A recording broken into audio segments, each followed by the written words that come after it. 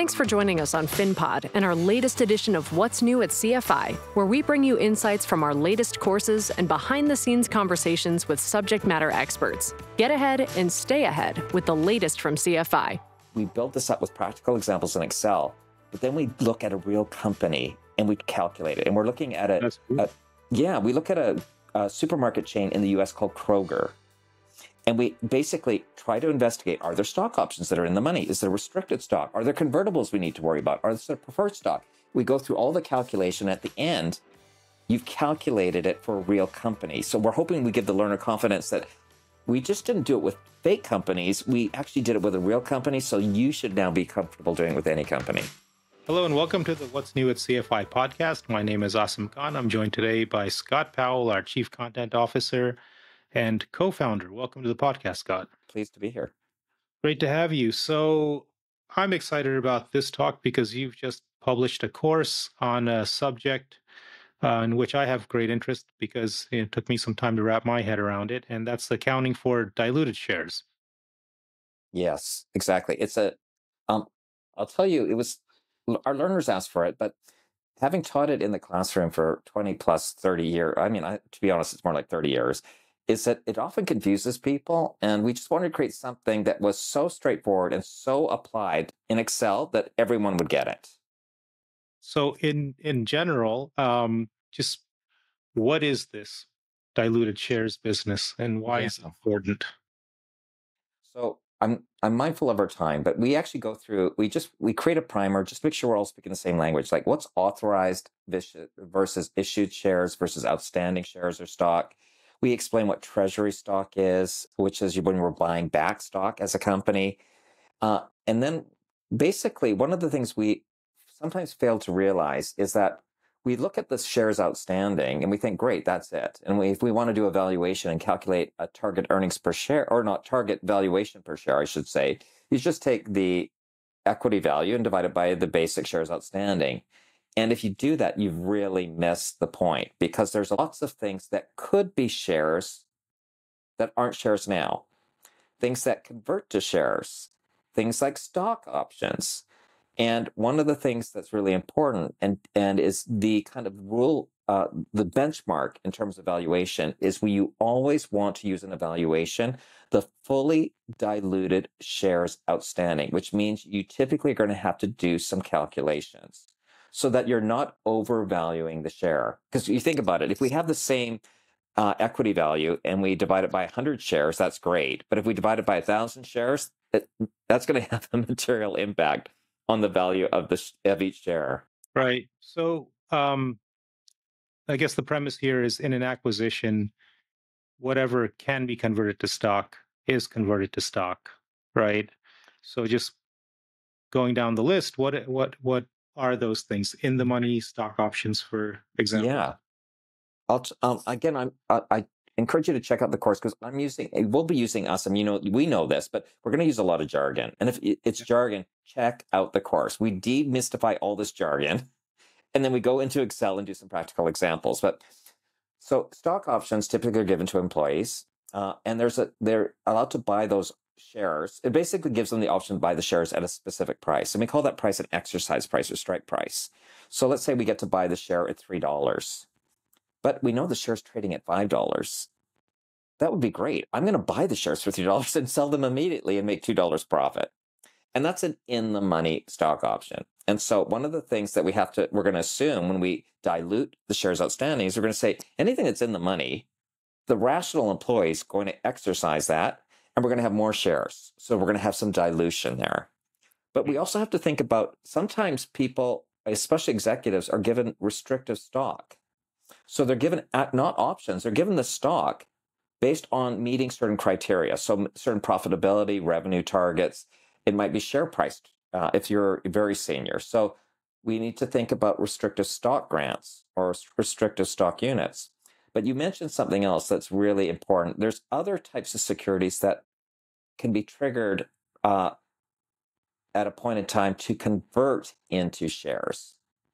One of them is convertible debt. So, again, you may want to check out our convertible debt course, but convertible debt is simply bonds, typically bonds, that based on the investor's choice, they can convert it into equity at a certain stock price.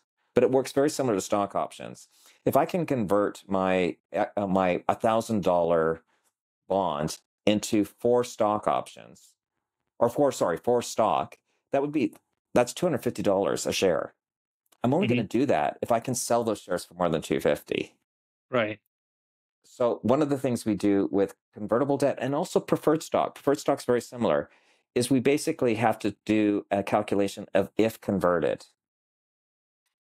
If it's uh, convertible preferred, then yeah, you know, you got so it. So you're basically taking account of everything that could be converted.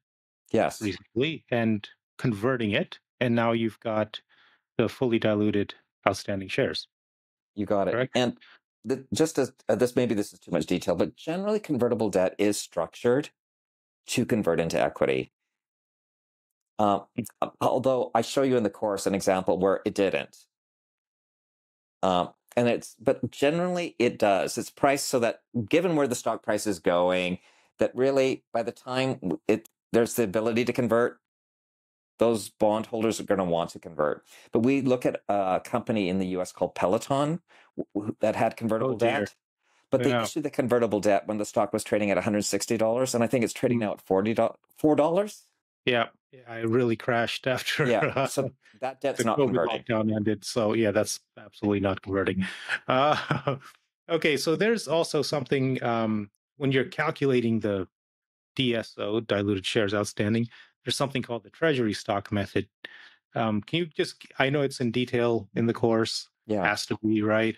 Um, but in your own words, if you could tell us how that operates. Yeah. So the treasury stock method works like this. Now, in reality, go to the notes of the annual report of the 10K, and you'll often find there are different stock options with different strike prices. And what you, the first thing you're going to do is identify which stock options right now with the current share price are in the money. And we calculate that number of shares. Anything that's out of the money, we ignore. Then what we say is, okay, they, let's imagine they exercise those options. Remember, I gave you the strike price of $3. Mm. So I buy these options for $3. And let's say I, ha- I had the right to buy 10 shares. So I give the company $30 I get the shares. I go out and sell them for $50, right? $5 each. Now, what does the company do with that $30? Well, we could say it puts it in cash, but what the treasury stock method says is no, we want to minimize dilution. That's rational because then the share price is going to be higher. So any cash we get in, we're going to immediately go out into the market and buy back shares. So at $30, I can't, I can only, remember it's $5 a share. I can buy back six shares. So really the dilutive effect is only the difference, right? We, we mm-hmm. gave 10 shares out, but we bought six shares back. So the really dilutive effect is the four, the difference. And that's the treasury stock method. That's a great way of explaining it. Yeah.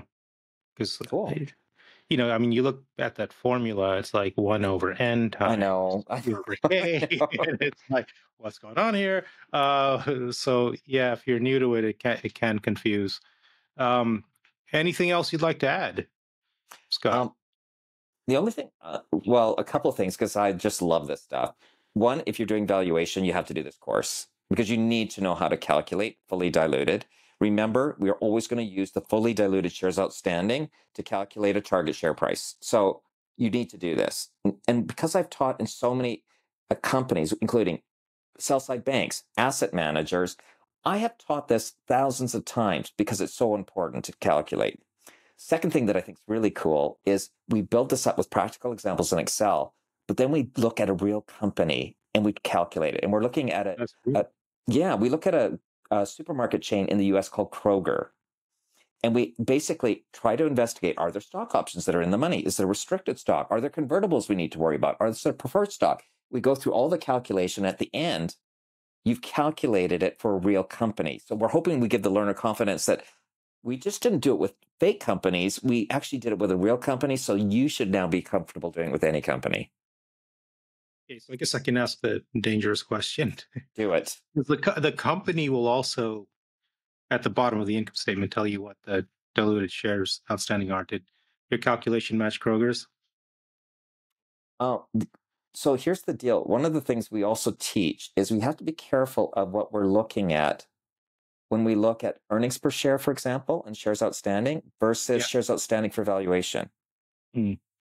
So the answer is yeah, but not yeah. And because when we look at calculating earnings per share and diluted earnings per share, we're going to use a weighted average.